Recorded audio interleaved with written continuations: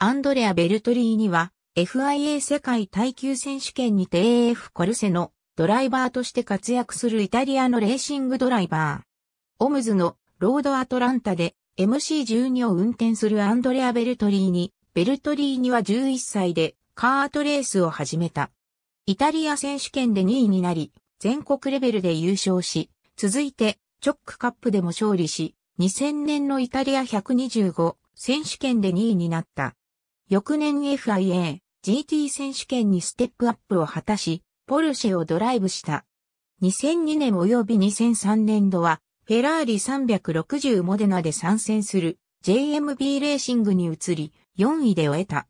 2004年には別のチームに移ったが、乗り慣れた360モデナで、再び総合2位となり、ドライバーパフォーマンスオブザイヤーを受賞。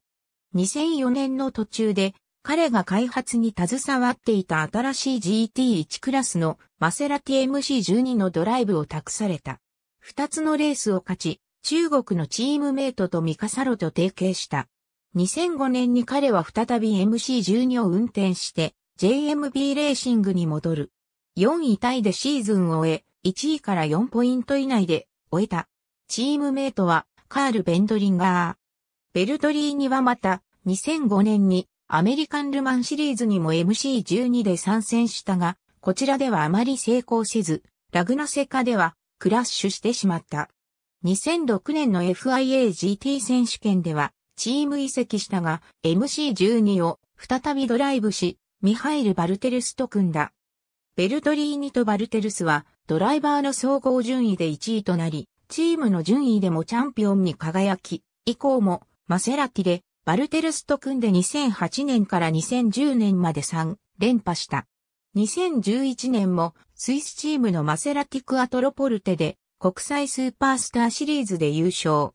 ベルトリーにはイタリアチームのマラネーロベースで開催された開会式でフェラーリの新しい F1 シミュレーターを運転した最初の人物になった。